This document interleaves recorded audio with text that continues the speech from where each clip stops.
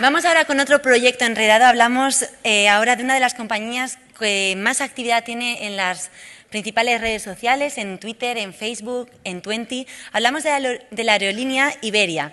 Para entrarnos en la estrategia de social media de la compañía y de sus cifras, nos acompaña Ignacio Valeros, gestor de sectores eh, de nuestra sociedad. La mesa redonda está moderada por el periodista CNN en español en Estados Unidos, Juan Andrés Muñoz. En esta interesante charla también intervienen Dolor Rech, empezamos por allí. Dolor Rech, psicóloga social, profesora, conferenciante y consultora. A su lado está Ricardo Gali, Galli, eh, fundador de Meneame, uno de los impulsores también de la etiqueta No les votes. John Aguirre Such es miembro de Democracia Real Ya y de, la, plataforma Paisaje Transversal. Y por último tenemos a Francisco Jurado, él es investigador del Laboratorio de Ideas y Prácticas Políticas de la Universidad Pablo de Olavide de Sevilla y participa activamente en iniciativas como Democracia 4.0. Damos paso pues a la mesa redonda Jóvenes y Plazas Públicas 2.0. Cuando quieras. Muy bien, buenas tardes a todos. Y, nada, aquí muchas gracias a, Burgos y a los organizadores del Congreso por tenernos a todos y reunir este grupo de gente que, vamos a tratar un tema interesantísimo.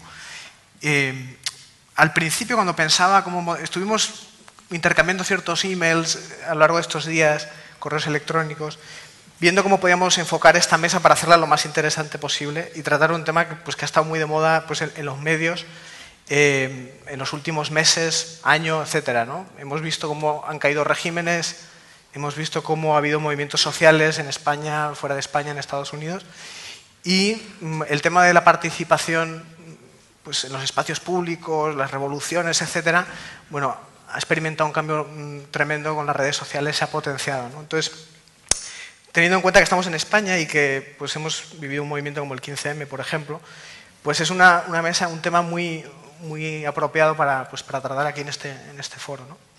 Y queríamos darle un formato a esta conversación un poquito más abierto, en lugar de cada uno que suelte una presentación, pues queríamos abrir desde el principio el turno a las preguntas, primero en la mesa y luego trasladaremos ahí a la audiencia, a todos vosotros. Y, y nada, abrir mucho el debate, que sea una cosa muy, muy suelta. ¿no? Y quería empezar, hablamos en el tema de los jóvenes ¿no? y, y las redes sociales. Yo me planteaba esta pregunta. ¿no? O sea, las, las, redes sociales han hecho a los jóvenes más participativos, menos pasotas? ¿O la gente que participa en las redes sociales es la misma gente que participaría en, un, en los procesos políticos, sociales de todas formas? No sé quién quiere abrir fuego con esta pregunta. Tú si quieres, Dolores, empieza tú. Vale. A ver, yo creo que sí, que realmente toda experiencia que vive el ser humano le cambia y nos cambia como seres humanos y después Creo que no tanto las redes sociales como los primeros foros, los primeros entornos participativos, lo que hacen es generar una Internet o, o generar esa, esa, vivencia de participación, esa vivencia de significación de lo que se hace. Y creo que sí, que los psicólogos hablamos mucho de un término que se llama disonancia cognitiva, que es un poco cuando uno vive dos realidades muy distintas hasta que no las estructura en su cerebro o hasta que no cambia el mundo, no para. En este caso estamos viviendo un entorno altamente participativo, en el que es muy complicado aislarse, en el, en el, que es muy complicado no opinar, en el que te obligan prácticamente a opinar constantemente y creo que esto va a acabar cambiándonos y se está, creo que el 15M de hecho es una muestra de que eso nos está cambiando, nos ha empoderado y nos está, al final acabará cambiando el mundo. Yo creo que es una, que sí, que está claramente sí. Francisco y John, vosotros como activos participantes del movimiento 15M, ¿cómo, ¿Cómo veis esto? Bueno, yo la verdad voy a dar una perspectiva más desde mi experiencia un poco profesional en el ámbito de, del urbanismo y la participación ciudadana, a través del trabajo que estamos desarrollando en, paisaje transversal, tratando de, pues a través de las herramientas digitales, facilitar la, participación ciudadana. Y en este sentido sí que hemos visto en algún proyecto que estamos desarrollando en Madrid, que hay fragmentos de, edad.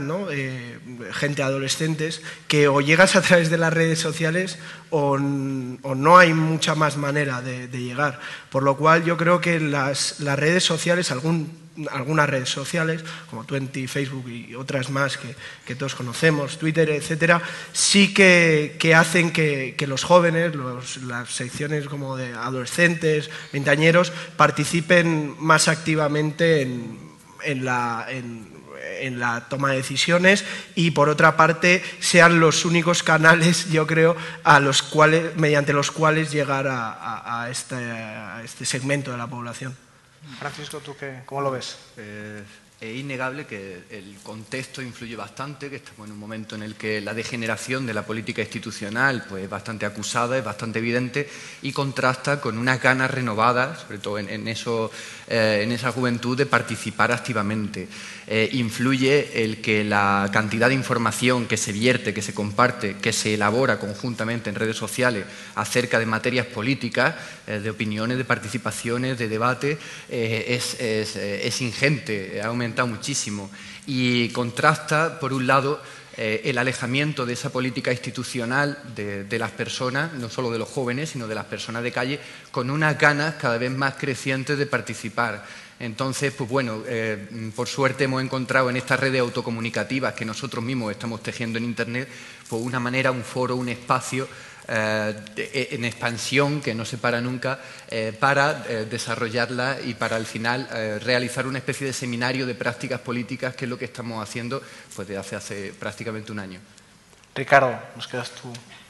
Yo creo que se ha roto el tabú que había sobre todo en Internet, que me han acusado, pero ahora un tabú social que teníamos de, no hablar de política. Eh, en España se habla muy poco política. recuerdo que el Meneame empezó en el año 2006, se empezó a hablar bastante política y nos criticaban mucho. Joder, ¿por qué tanta política? Y en estos últimos años se ha roto, se ha roto ese tabú. Entras donde entres, eh, siempre, siempre surge temas políticos. Eh, siempre la gente ya no se priva de sus opiniones políticas. Eh, y además ha servido, está sirviendo para crear especies de, de, redes sociales, que las redes sociales son personas interconectadas de cualquier forma que están conversando. Crear mm, así grupos, como los que están comentando ellos, pero así innumerables grupos que tienen sus intereses y trabajan por sus propios intereses, sean políticos importantes, sean tan pequeños como, como ir a jugar al fútbol en el barrio, yo que sé. Eh, y esto está favorecido por las redes, que en, otros casos pues era bastante más complicado pero significaría, marcaría que se ha roto el tabú de hablar de política. Yo estaría de acuerdo y no. O sea, sí para los jóvenes. El problema es que estamos conviviendo dos generaciones, una que ha roto ese tabú y una que no lo ha roto aún. O sea, yo creo, realmente, no, ayer leía y aparte ampliaba se decía, solo es libre la gente de 90 años y la de 20. Realmente la franja intermedia, que está sobre todo en un país, las dos Españas siguen muy vivas. Si hablo de esto, o te politizan o el hecho de que te politices es peligroso todavía hoy en día o se vive como peligroso para la gente que tiene, para la gente que está laboralmente activa. Yo creo que realmente la suerte es, a ver, cualquier revolución, yo creo que hay un elemento importantísimo. Las revoluciones de los países árabes y las nuestras, si tenían algo en común, era la insatisfacción, evidentemente de una población que no tenía nada que perder. De alguna forma, yo hay un dato que me pareció muy curioso y es que tanto en los países árabes como aquí empiezan las revoluciones cuando tenemos un 50% del paro de menores de 25 años. O sea, cuando hay ese índice de población que puede ser absolutamente independiente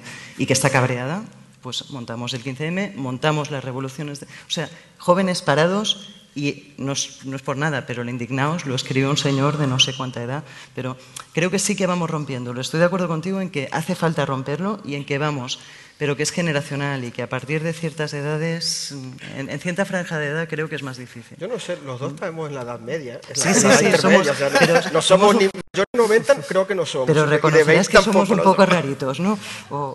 no, yo me lo considero, por lo menos. Yo veo mucha gente de mi generación, un poco más joven, o sea, en la, post 30 años, y opinando mucho de política. Eso no lo veía antes cada vez más, cada vez más, está claro. Tiene, tiene su lado positivo y negativo también, ¿no? sí, sí. ¿Creéis que el interés en la política se ha desatado porque la gente en las redes sociales ve que puede cambiar cosas, que puede generar movimientos que antes hubieran sido muy difíciles de amalgamar mm. sin unas herramientas como tenemos hoy? Empoderamiento es la palabra. Es ahora que tengo un arma tan potente, voy a intentar hacer cosas positivas con ella. Yo, a mí no, la, palabra empoderamiento no me gusta nada. Eh, me parece más interesante hablar de autonomía, de prácticas de autonomía.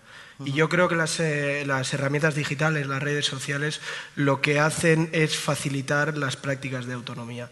Y hay una cosa que, a mí una de las frases que, que más me ha impactado últimamente era una, una frase de John Berger, eh, de la novela G, que decía que más o menos venía a decir que uno aprende a ser libre siendo libre y que el, y que el pueblo no será culto cuando sea libre, sino será, no será libre cuando sea culto, sino será culto cuando sea libre. Y en este sentido, eh, una de las cuestiones que, a, mí, a nosotros más nos interesa en Paisajes Transversales, el, el hecho de que a participar se aprende participando. Y las redes sociales lo que, lo que fomentan es ese aprendizaje sobre la, sobre la participación. Hablando de ese aprendizaje y enlazándolo con el, con el 15M, ¿qué dirías que fue lo que aprendimos de, o que se aprendió del movimiento del 15M y si volviéramos a hacerlo, ¿qué haríamos diferente? Pues no sé si para conseguir más cosas o si se considera exitoso, bueno, pues está bien, ¿no? Pero ¿qué haríamos diferente y qué aprendimos? Creo que ese proceso de aprendizaje eh, es continuo desde el primer día, incluso desde antes cuando se empieza a fraguar. De hecho, al haberse convertido en un, en un movimiento global, eh, y es global porque sentimos lo que pasa en Egipto, o sea, si la gente de Egipto los compañeros de México o de Estados Unidos pues ah, eh, tienen una victoria, la sentimos como nuestra, si reciben palos lo sentimos como nuestro. Y al final esto de que estemos en continuo contacto porque todas las semanas tenemos reuniones y vemos cómo van las cosas en Nueva Zelanda o en Francia, eh, hace que estemos generando una especie de manual de How to Revolution, ¿no? Vamos completando la experiencia unos de otros y vamos corrigiendo pues, esos pequeños tics o, fallitos que es normal que sucedan porque al final lo que estamos viendo es un proceso de, beta permanente, como se diría en el argot informático. Eh, es curioso, lo que hablábamos antes, eh, si, cambiaba, si, tuviese que cambiar un poco algo, corregir de la experiencia, quizás serían aspectos metodológicos, porque es, lo que no hemos visto un poquito más falto, quizá por eso, porque nos hemos lanzado a las bravas eh, a hacerlo y estamos eh, perfilando un poco la metodología, tanto en las asambleas como en las participaciones en foros, en redes sociales, como en grupos de trabajo transversales. Todo esto lo estamos elaborando la metodología al mismo tiempo que está sucediendo. Entonces, es un poco, para la toma de decisiones, por ejemplo, pues nos cuesta un poco de tiempo afinar esos protocolos, esos procedimientos eh, pero bueno, es, cuestión de tiempo, todavía eh, es una experiencia bastante joven. A mí me parece muy interesante, hilando con lo que dice el de la beta permanente, la ida y venida entre, entre la esfera digital y la esfera física. O sea, yo creo que ese es uno de los grandes aprendizajes, ¿no? de cómo ciertas pautas, ciertas dinámicas que se, se, desarrollan en la esfera digital han repercutido en la esfera física y luego han vuelto a, la, a, la, esfera eh, digital. ¿no? En, en, un, en un bucle casi continuo, no un bucle sino que va avanzando, digamos, y, eso es uno de los grandes eh, aprendizajes que, tiene todo, todo esto, ¿no? Y a mí me parece muy interesante el, concepto de beta permanente, yo creo que es aquí eh, fundamental, ¿no? O sea, todas las cosas que se heredan como del hacktivismo, de, la esfera digital y se aplican a, la esfera física y luego vuelven y se retroalimentan, es muy interesante. Y en cuanto a, qué cambiaría, yo cambiaría, o si pudiese ser la... Eh, haber tratado de, no caer en la, cierta codificación o cierta significación. Me parece que eso también ha sido muy difícil porque la presión de los medios y los intereses mediáticos y políticos han estado ahí y eh, han querido en esas dos Españas significarlo. ¿no?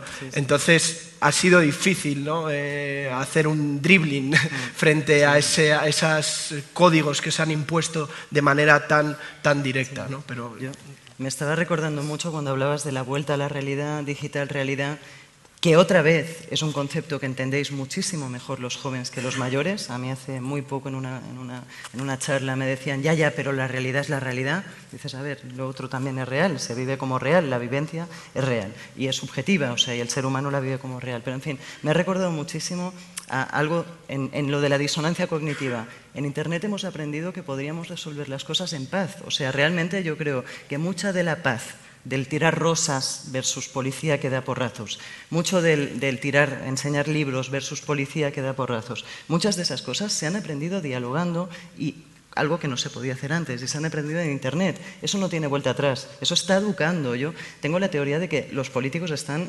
moralmente por debajo de la población en muchos sentidos. ¿no? Es verdad, o sea, realmente el que ha vivido esas experiencias de diálogo en Internet ya no necesita dar hostias para solucionar conflictos. Creo que todo eso, muy buena apreciación, está cambiando la realidad sí o sí. O sea, es un proceso dialéctico, muy claro. Yo, yo al principio yo fui, apoyé mucho, trabajé durante, por tema no les votes y luego estuve muy emocionado con el 15M y luego fui muy crítico, me, alejé por, digamos, por, por tenían, sentía contradicciones muy potentes. ¿Cómo cuáles? Yo creo que es que todos los movimientos, los cambios sociales o producidos por, por grupos sociales pacíficos, entre ellos, por ejemplo, el de Martin Luther King, eh, tienen todos un denominador común, ciertas reglas que, funcionan. Una de ellas es eh, que hay un objetivo claro y definido. Esto es lo que queremos. La otra es que todo el discurso que se sustenta en eso es inclusivo. De hecho, mm, lo leí bastantes veces al discurso de I Have a Dream. Os recomiendo que lo leáis y analicéis frase a frase cómo eh, Martin Luther King, primero que es un discurso muy estudiado, no fue improvisado. No, no peleemos contra nuestros hermanos blancos, no iremos a ningún lado sin ellos. Es decir, muy pensado en que aquello sea inclusivo, no, no posicionar, no ser negros contra blancos. Y en, el, tema del perdón, que es como dejar una salida al, adversario, es decir, deja que el adversario, al que, el le está reclamando cosas, tenga una salida, no, no lo puedes encerrar. Y esto, esto yo creo que son las reglas fundamentales de, que debería cumplir todo movimiento social. Eh, y esto es lo que creo que no se ha cumplido en el 15M. Es decir, cada uno empezó a pedir lo suyo. ¿Y qué hay de lo mío? ¿no? Ah, pues yo también esto, yo también quiero esto. De ideas originales y concretas empezó cada vez a pedir más cosas. ¿no? Y al final luego no se sabía qué es lo que, cómo se podía contentar a todo esto. Claro, el problema es que Martin Luther King era un líder y en general los movimientos sociales siempre tuvieron un líder claro que marcaba los límites. Pero claro, ¿cómo, haces una, entre 150.000 personas marcar un límite? Es dificilísimo. Entonces, el problema con que, estamos aprendiendo es cómo hacemos eso, y que seguramente será un proceso largo, cómo hacemos esto sin que haya un líder. Queremos prescindir del líder. a, lo, que quiero, a lo que quiero decir es que, contra el, tema, el tema de. Perdón, un segundito, John.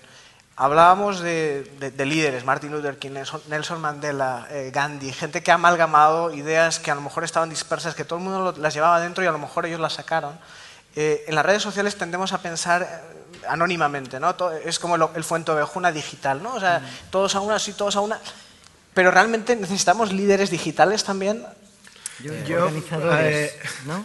personas concretas. Bastante espinos. sí, a, mí me gustaría como... para eso estamos aquí, para tratar los temas espinosos. Hacer varias apreciaciones como respecto de lo que acaba de decir Ricardo. ¿no? Por una parte, Martin Luther King es del siglo XX y estamos en el siglo XXI. Mm. Eso, punto número uno. La contemporaneidad, la esfera digital nos, nos está enseñando constantemente cosas mm. nuevas y maneras de hacer diferentes eh, las cosas. Eso por otra parte. Y por otra parte, en en, los objetivos, los fines, etcétera, a mí me parece, hilando un poco con, el tema de la participación, los jóvenes en las plazas, hay una cuestión, y que esto antes lo hablábamos en el bus, Francisco y yo, es que en, la contemporaneidad, en el siglo XXI, muchas veces lo, lo objetual deviene procesual.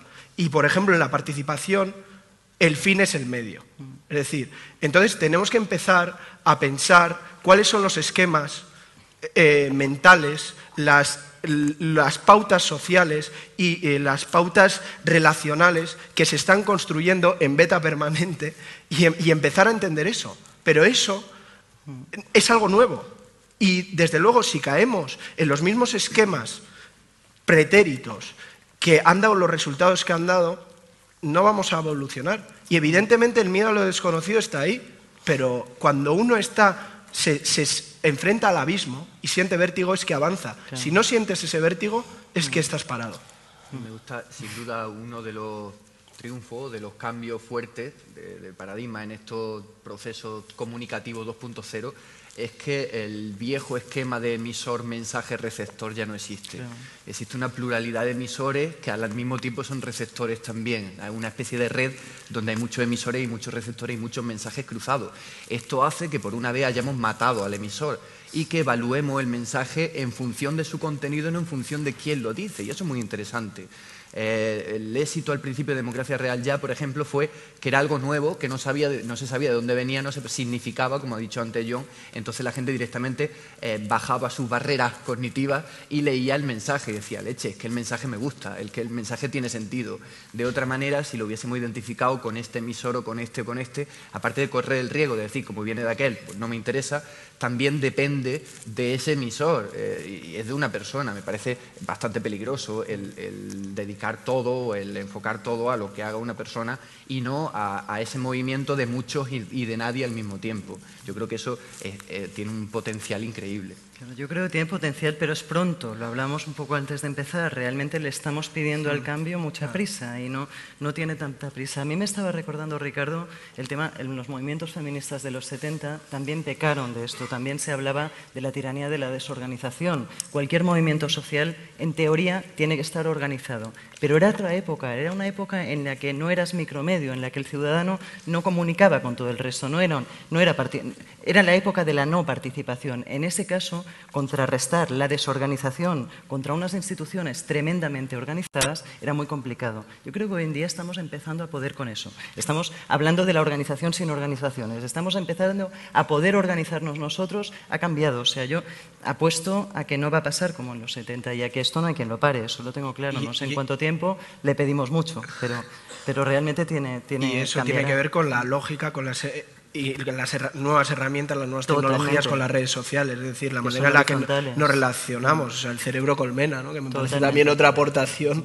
fundamental ¿no? de, de, de, todo esto. Entonces, mm, tenemos que empezar a construir algo nuevo y evidentemente cuando uno está construyendo algo nuevo, en, esa beta permanente, pues hay errores y se, y se rectifican y se vuelve a intentar y, no hay que tener miedo al fracaso. Y yo creo que eso es lo bueno, ¿no? O sea, ser conclusivos y absolutamente dirigidos a un objetivo y a, y a generar un objeto, por así decirlo, entendido como una cosa, no tiene sentido, porque no, no, entra dentro de las dinámicas contemporáneas. Y uno de los secretos de Martin Luther King y de cualquier líder es ese, es que han tenido las narices de plantear abiertamente que pretenden cambiar el mundo con todas las letras como lo estáis diciendo vosotros. Por eso digo que la gente joven tenéis, tenéis más posibilidades, porque a mi edad ya no se dicen esas cosas, se tachan de muchas cosas. O sea, entonces coincidimos con el líder que ya no es un líder, sino que el líder somos nosotros. O sea, el líder es somos micro líderes. Como la revista Time, ¿no? El,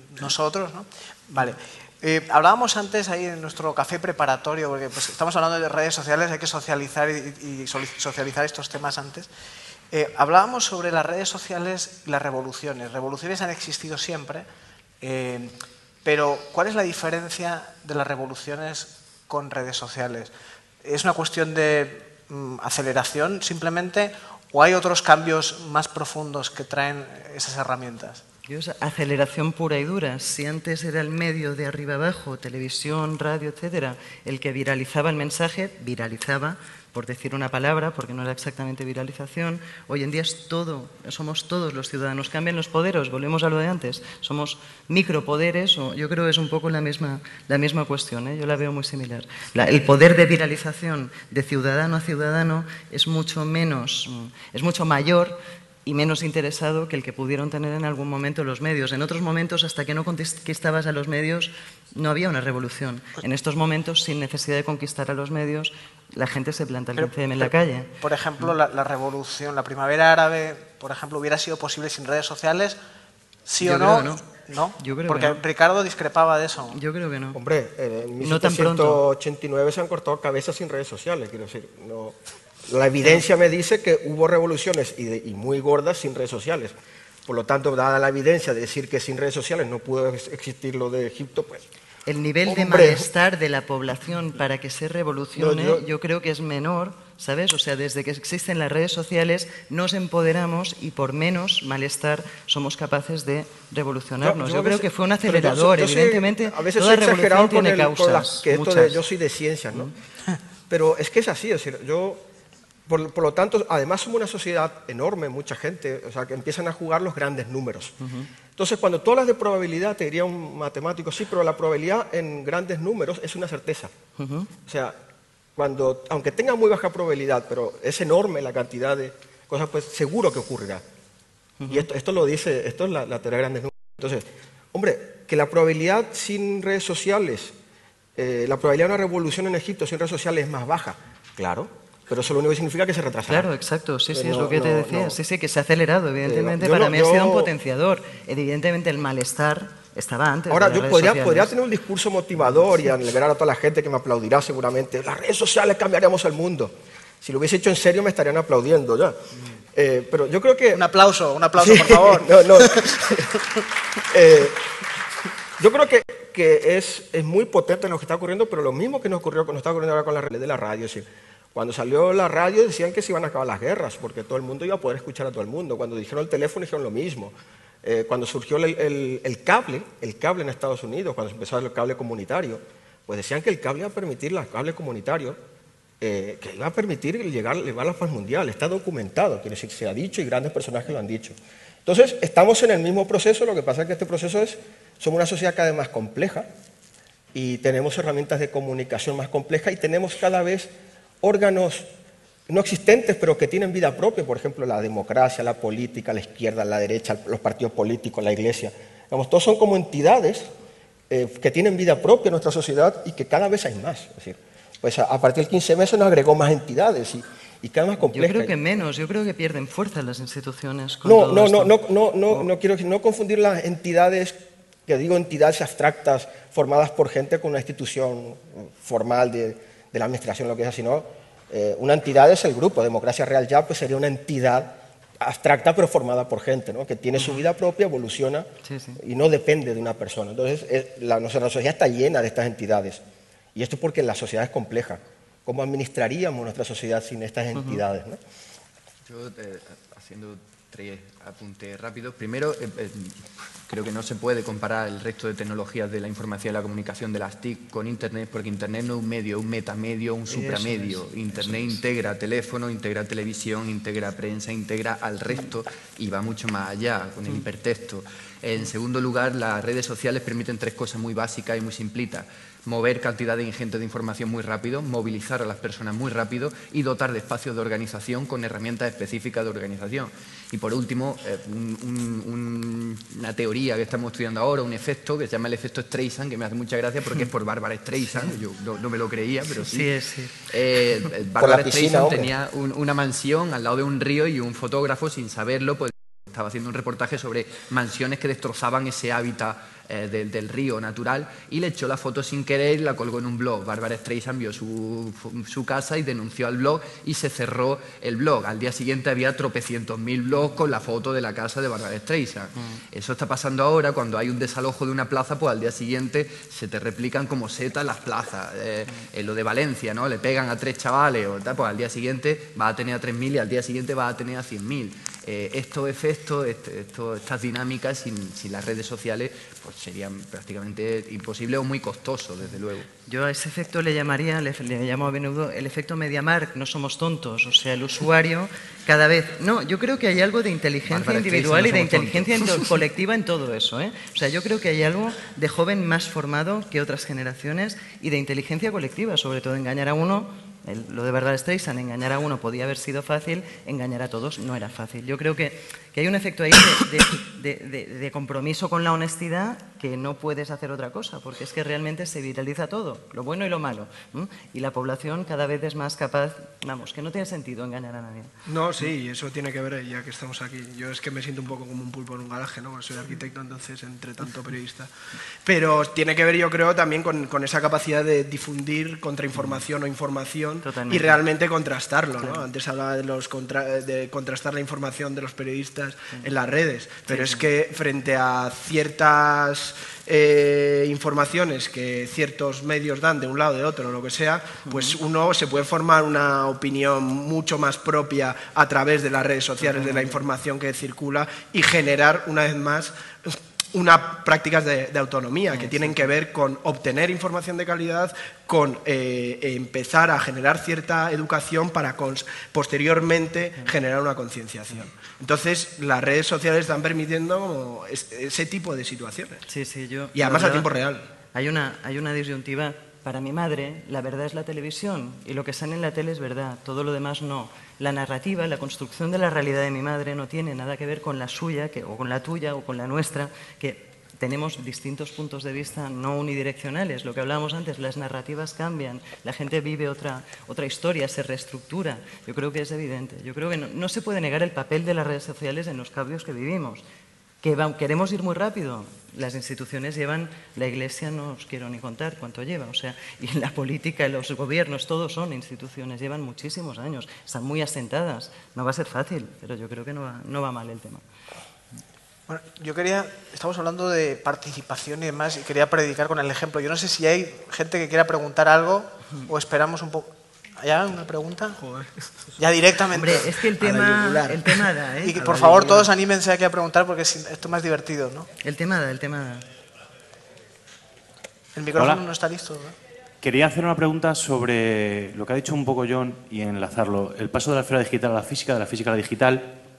Y considerarlo también un poco con lo que ha dicho Ricardo, que si no se estarían eh, intentando comprender los procesos de nuestro tiempo con esquemas pasados. Mm, yo iría un poco más allá que ha dicho John de paso de la esfera digital a la física, de la digital a un paso a otra, sino que existe lo que es una hibridación. Igual que se ha hibridado el espacio público y el privado, tan delimitados prácticamente, Ocurre lo mismo con el espacio digital y el físico, son un, son un ente, somos cyborg, ya no somos eh, cuestiones de otro tipo. Entonces, no, eh, también viene un poco por la consideración de las redes sociales y su papel en los, según dice Gladwell, con los lazos débiles, Granoller con los lazos fuertes. No creemos que, que todavía tenemos que adaptar los esquemas mentales para comprender la realidad de nuestro tiempo con las herramientas de nuestro tiempo, las estamos intentando comprender con esquemas pretéritos que no llevan a ningún sitio. Exacto. Esa es la brecha generacional. Esa es justo para mí la brecha generacional. Tú mismo te has respondido.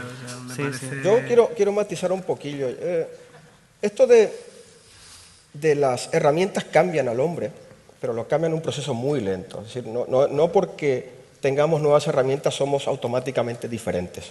No porque ahora tengamos Twitter o Facebook somos distintos a los a los colegas o las la, personas que vivían en la época de Martin, Martin, Luther King. Es decir, somos personas, tenemos algunas cosas que son inamovibles, es decir, seguimos teniendo los ojos, que si nos quitan un ojo, pues somos tuertos, eh, seguimos teniendo manías y cosas evolutivas, seguimos teniendo miedo a las arañas, aunque, joder, vaya si no han explicado que es un miedo atávico y, y que es cuestión de evolución.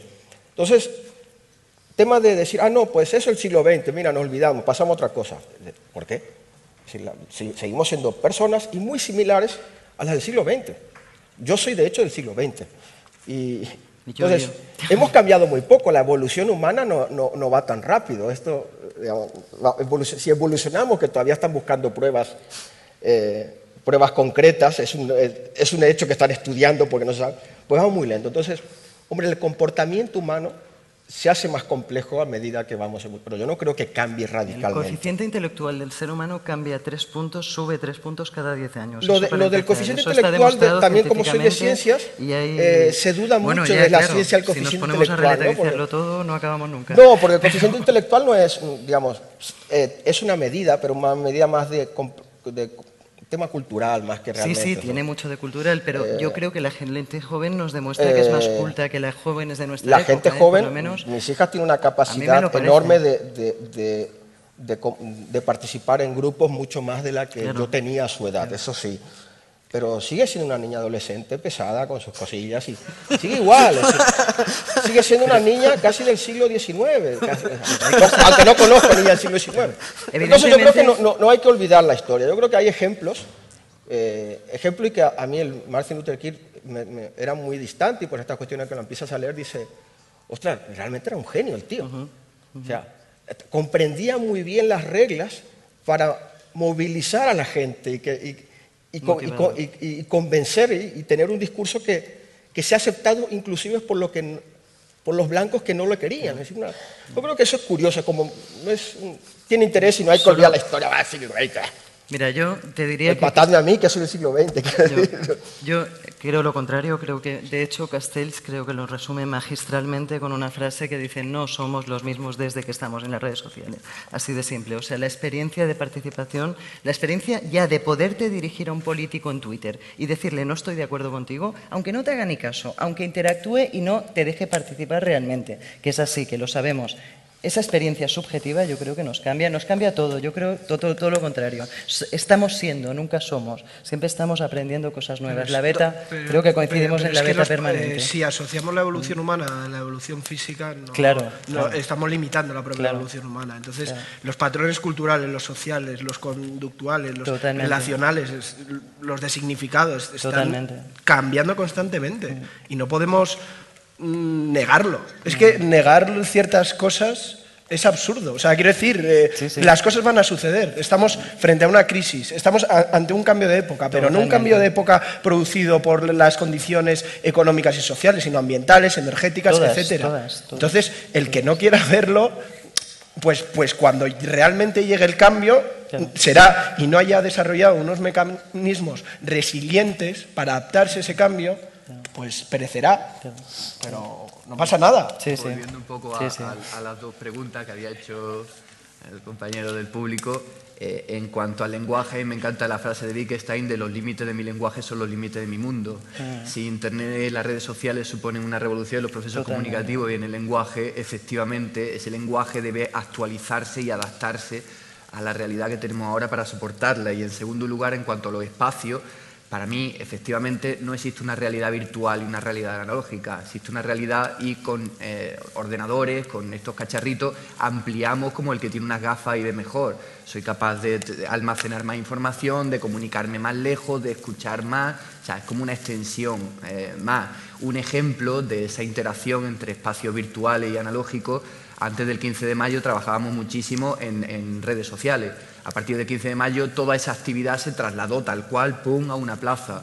Eh, una vez que se disolvieron las acampadas, pues se ramificaron más hacia otra asamblea de barrio, tal. Y, por ejemplo, las asambleas que celebramos en, plazas, en barrios, todas las actas, todas las conclusiones eh, desembocan al final en redes sociales donde se vuelven a trabajar, en Internet. Entonces, ese feedback, esa interacción es continua. Yo, un detalle solo, esa es la línea para mí, menos calle, que hemos evolucionado como seres humanos. Y sé que aquí choco frontalmente contra mucha de la ideología del 15M, pero menos calle y más, más espacios colaborativos en los que somos más que las instituciones, no en la calle. En eso estoy totalmente En la calle no somos nada. En eso totalmente. Uno de los problemas es que, es demasiada calle, que la, plaza, la plaza de cemento fagocitó eso, al espacio, al, espacio más grande. Eso fue, fue Yo no estoy de acuerdo con eso, igual por deformación profesional, porque a mí el espacio físico, la plaza, como urbanista o como diseñador del espacio me parece absolutamente fundamental. Y es cierto, antes lo hablamos, yo pienso que el espacio público, tal y como es físico no existe. No existe porque no responde a las cualidades del espacio público hoy en día. Y de hecho, lo comentábamos a nivel de diseño, por ejemplo, Sol es una, es una plaza terrible y cada vez tendemos más hacia hacer de las plazas, pasar de ser lugares de estancia a ser lugares de, tránsito. Entonces, mm, yo creo que el espacio público físico es muy importante y, y no tanto el espacio público, sino el espacio común, o sea, lo común. A mí me parece como que realmente hay que, hay que superar la barrera entre lo privado y lo, público y empezar a hablar de, lo común. ¿no? Yo creo que ya estamos en la sociedad postdigital, que hay que olvidar la disyuntiva, estoy de acuerdo que ya, ya es la plaza pública y está virtual real. que no, Vamos a darle aquí más participación pública aquí al público. Eh, ¿No creéis que a veces corremos el riesgo eh, dejándonos llevar por la herramienta y los cambios y apuntarnos al estamos en plena revolución, el riesgo de leer mal las situaciones, de quedarnos atrapados en una narrativa propia, de modo que le damos mucha importancia a lo que sucede en nuestro timeline, que es lo que vemos, ¿vale? Le damos una dimensión brutal y acabamos eh, llegando a situaciones como lo que ha pasado hace 20 minutos, que estábamos hablando como si hubiera habido una revolución en España en el último año y ha habido un cambio de gobierno que ha sido justo al revés. ¿Cómo se explica eso? no, debemos gobierno de haber No, no, debe, bueno, pero si hubiera habido una revolución de verdad, de verdad, revolución, la palabra revolución, hubiera habido un cambio en otro sentido. Pero estamos tan atrapados en el mensaje de lo que vemos a nuestro alrededor que lo sobredimensionamos. O sea, yo creo que de, la página del timeline tenemos que pasar a la de descubre y empezar a buscar un poquito más, ¿no? Porque si no a veces corremos el riesgo de perder perspectiva. Y abrir vías de participación a la gente de otra generación, que es la que hizo que ganara lo que ganó y que todo lo demás se quedara en anécdota. Cuando decís lo de la plaza, a ciertas edades, de verdad, no vamos a ir a manifestarnos a la plaza porque trabajamos, porque no tenemos tiempo, porque no, ¿sabes? ¿Y cómo se haría eso? tenemos que ser inclusivos, tenemos que abrir espacios de participación virtual. ¿Y cómo, cómo cuáles? por ¿Cómo? ejemplo? A ver, como no lo hagamos ya, lo va a hacer Facebook. Yo lo vengo viendo desde hace un tiempo. El discurso de Zuckerberg, no, últimamente el discurso de Zuckerberg es súper de este palo, de democracia participativa, de ahora que tenemos una herramienta en la que la gente puede votar y hacer referéndums prácticamente constantes, vamos a hacerlo.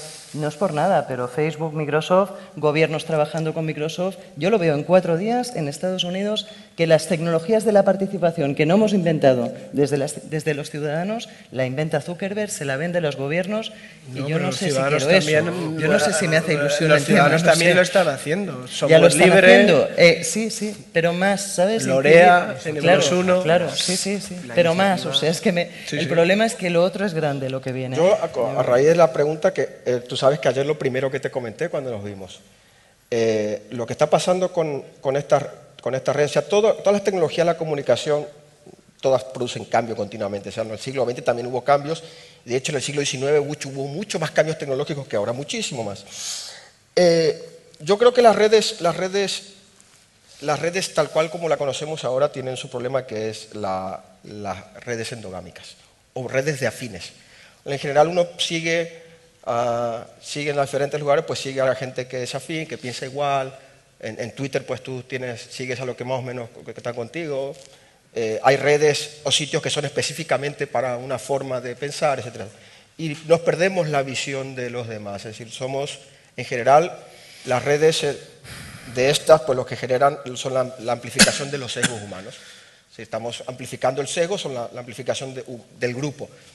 Yo creo que eso es un, que es un problema y que hay una oportunidad para mejorar y estoy seguro que el Zuckerberg lo lleva pensando hace tiempo. Sí, y, sí, además, perdonad que- que nos lo va a lanzar, Sí, ya veréis. sí, porque tiene el, a- el problema es que tú cuando haces un movimiento desde abajo para crear aquello, es- compartes desde cero. Claro. No tienes datos, no tienes gente, no tienes... Ahora, sí.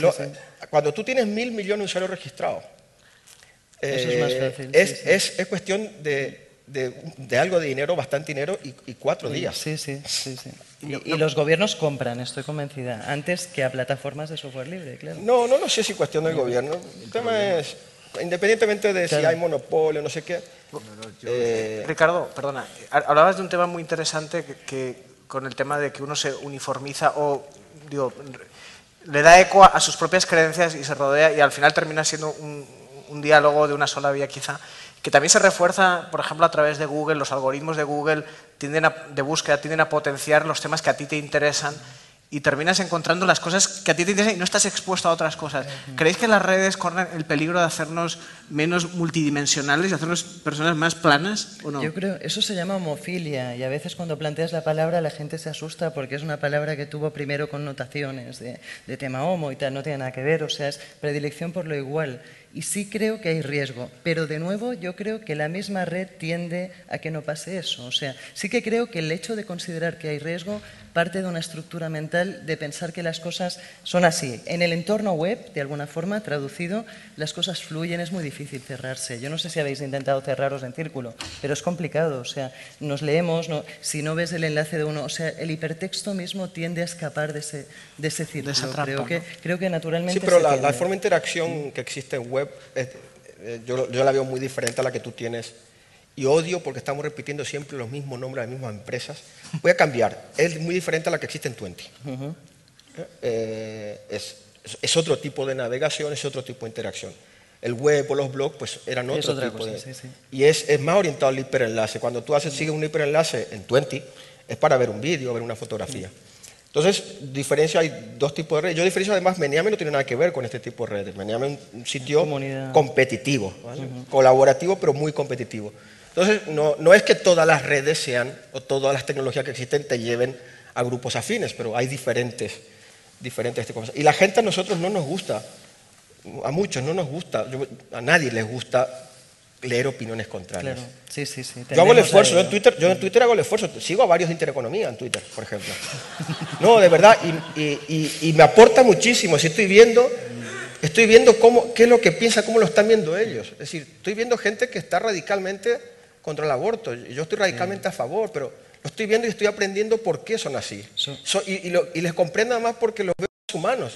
Es decir, no es una persona, no es ese personaje de viñeta que está allí rabioso con una cruz queriendo matar, no sé. No, veo que hay una madre ahí, no quiero decir nombre, una periodista madre, que radicalmente, y la veo como humana, les puedo llegar a comprender esa de por qué lo está yo. Yo- hay estudios, eso se llama sesgo de confirmación en términos de, de eso, de integ- integramos en nuestros cerebros solamente aquello que ya encajaba. O sea, en el fondo nos pasamos el 65% del tiempo autodándonos la razón. Pero de nuevo yo creo que estamos cambiando y que la web tiende a, a también a fomentar la diversidad, la visibilidad de minorías. Yo creo que en el fondo también cambiamos. Entre tanta cantidad de información, Sí, es sí. lógico que el 80, el 70, Eso bueno, es. ya las cifras bailan, la Eso es. escojas porque te gustan más esos contenidos, pero siempre también por ver que piensa sí. otro tipo de gente, lo haces. También depende un poco del grado de alfabetización digital o del interés que se tiene en descubrir cosas nuevas. También hay una cosa muy importante y es que el grado de desarrollo de de lo que se puede llamar multisubjetividad en estos días es, Es es- es tan infinito. elevado que dentro de los propios círculos de, de afinidad existe una multiplicidad de visiones eh, muy grande. Vamos, y eso nos lo encontramos todos los días porque dentro de gente que pensamos lo mismo discutimos hasta que nos cansamos. Mm, Sí, sí. Una pregunta. Hablábamos también del, del tema, salir de aquí con cosas prácticas también para cómo podemos aterrizar todas estas ideas.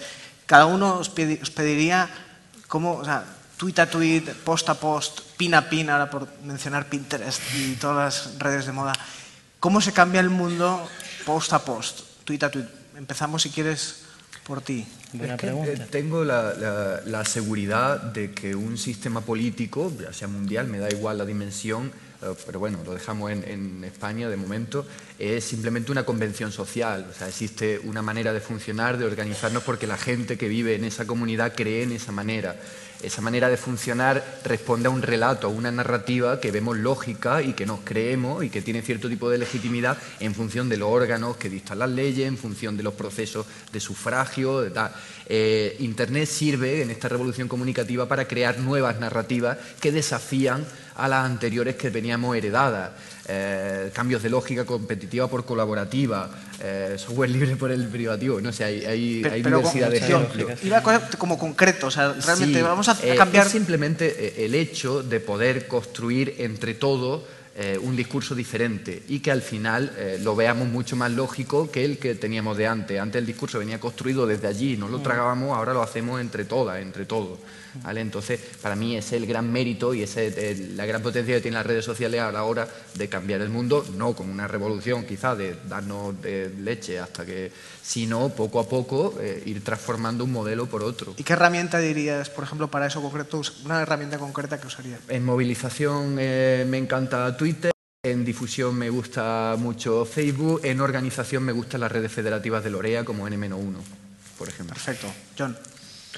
Bueno, yo a ese respecto creo que, y por lo menos así lo tratamos un poco en paisaje transversal, en, en- en tratar de generar esa pedagogía a través de, de la difusión, a través de, de generar una nueva narrativa, nuevos contenidos, contenidos críticos, y, y es un poco como la gota ¿no?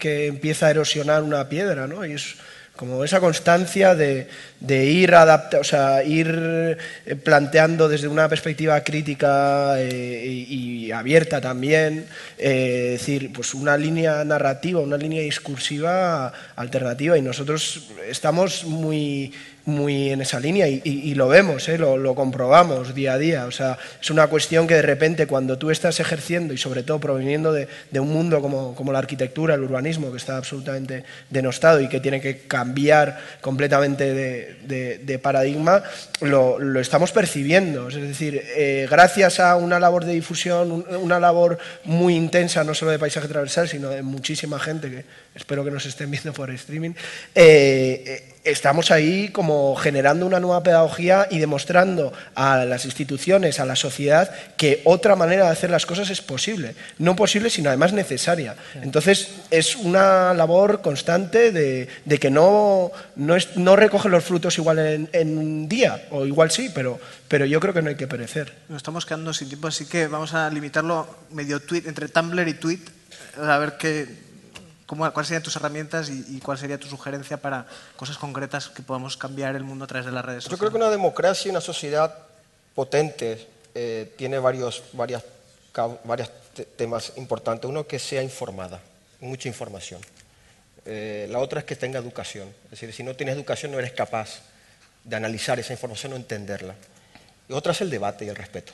Entonces yo creo que cualquier cosa a favor de estas tres, de, favorecer la información, buscar la información, la verdad, porque la verdad no es la media entre, entre dos mentiras, entre dos mentiras, la verdad es una y la información es una. Buscar eso, buscar la, el, debate, el, debate razonable, que es una cosa que no nos enseñan, nuestra educación formal tiene problemas, no nos han enseñado el razonamiento crítico, al pensamiento crítico, a saber debatir, articular un debate.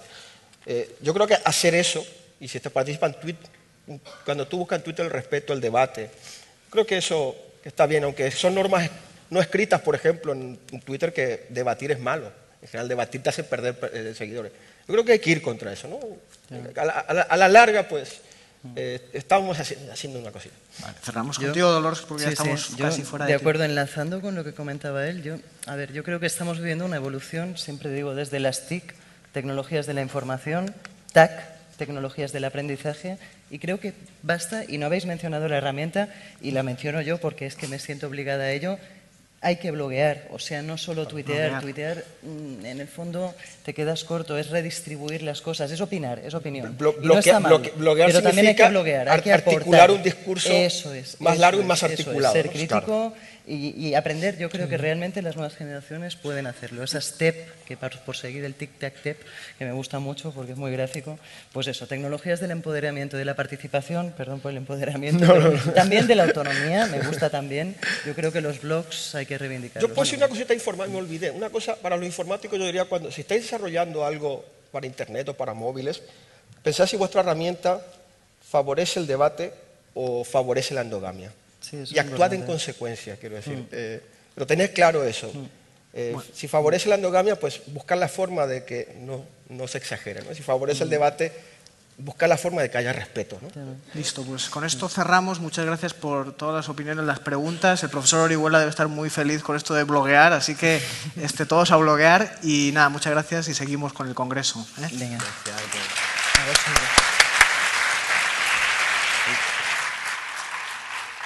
Muchas gracias por la mesa redonda y bueno, eh, hasta aquí vamos a hacer ahora una pausa.